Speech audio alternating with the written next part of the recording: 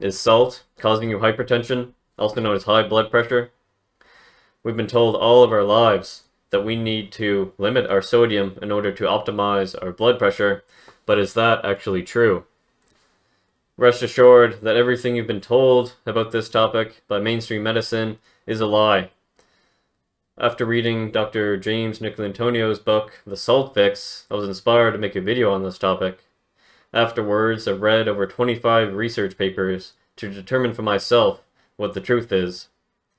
Given that in the world, 31% of adults have hypertension and about half of adults in America have hypertension, we need the truth more than ever.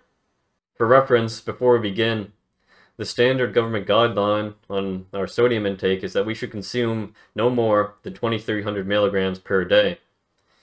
You are considered hypertensive if your blood pressure is 140 over 90 or greater. Between 140 over 90 and 120 over 80 is prehypertension, and you have a normal or normotensive blood pressure if it is less than 120 over 80. The first number is called your systolic blood pressure. That's your blood pressure when your heart beats. And the second number is your diastolic blood pressure. That is the pressure of the blood when your heart is resting between beats. So if somebody's blood pressure is 120 over 80, his systolic blood pressure is 120, and his diastolic blood pressure is 80. With that out of the way, let me tell you what I've learned about sodium and high blood pressure.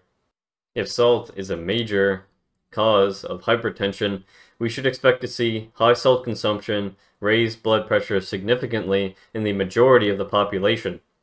However, this is not at all what we see when we look at interventional studies. In a 1993 study with 163 participants with normal blood pressure, they were given either a low sodium diet of 460 milligrams of sodium per day or a high sodium diet of 6,900 milligrams of sodium per day. The researchers found that only 18% of participants increased their overall blood pressure by more than 5 units. 66% of them did not experience a change greater than 5 units, and 15% had their blood pressure lower more than 5 units when they were on the high salt diet. In other words, 18% were sodium sensitive, 66% were sodium resistant, and 15% were counter regulators.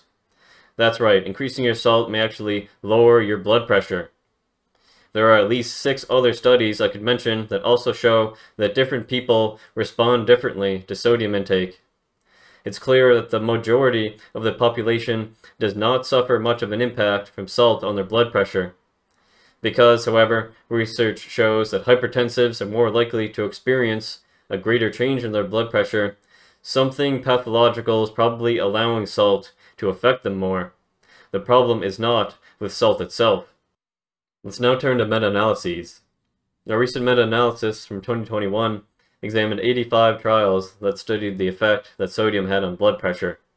They found that, on average, people without hypertension who reduced their sodium intake from 6 grams to 2 grams per day, lowered their blood pressure by 4 over 1.7. Hypertensives reduced their blood pressure by 10.3 over 5.1. What should we conclude from this? For the people with normal blood pressure, nothing much happens to their blood pressure when they change their salt intake. It only changes by 4 over 1.7. For hypertensives, a reduction of 10.3 over 5.1 may sound like a lot, but it really doesn't solve the problem. If someone is at 155 over 95 and they drop down to 145 over 90, they still have hypertension. A different meta-analysis by Graudal and colleagues in 2019 found that in those above 131 over 78, salt restriction reduced their blood pressure by 7.7 over 3 while in those at or below 131 over 78 only reduced their blood pressure by 1.5 over 0.1. So even less happens to blood pressure if we look at that meta-analysis. Regardless, if that is all that lowering salt does, can we really say that salt is the cause of high blood pressure? Something else must be going on. We'll now look at the famous INTERSALT study. This study took 200 people each from 52 population centers spread across 32 countries. They analyzed participants' blood pressure and sodium levels. Looking at the 52 centers, they found a positive correlation between sodium and blood pressure. However, when they excluded the four extremely low salt-consuming centers, including the Yanomamo Indians of Brazil, they found that across the 48 remaining centers there was a negative correlation between sodium and blood pressure and between sodium and hypertension. In other words, as sodium declines, eh, so does blood pressure and hypertension if we're looking across different populations. A recent paper from 2021 found an interesting relationship between sodium intake, life expectancy, and all-cause mortality. They looked at data from 181 countries and found that there was a positive correlation between sodium intake and healthy life expectancy. The study also found there was a negative relationship between sodium intake and all-cause mortality. These associations held up to about 45 grams of sodium per day, after which the association started to taper off. In other words, increasing your sodium up to about 5 grams of sodium per day will increase your life expectancy and decrease your risk of death from any cause on average. The study noted that the low sodium guidelines of the American Heart Association, the World Health Organization, and the European Society of Cardiology are associated with rather low life expectancy and high mortality.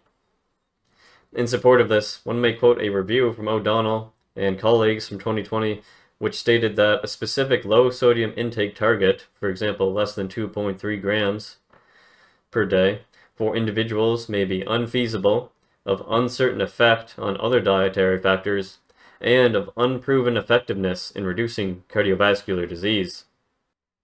Despite a decrease in blood pressure, a low salt diet is responsible for negative cardiovascular outcomes. The explanation for this is that low sodium increases renin, aldosterone, noradrenaline, angiotensin, cholesterol, and triglycerides, and resting heart rate. All this takes a toll on the body over time, increasing the risk of heart attack and cardiac death. If we keep our sodium consumption above 300 milligrams per day, however, the emergency measures our body uses to maintain blood volume would not be used too much. We've now seen that salt is not the cause of high blood pressure. If it's not salt, however, what is it? The real cause may be insulin resistance.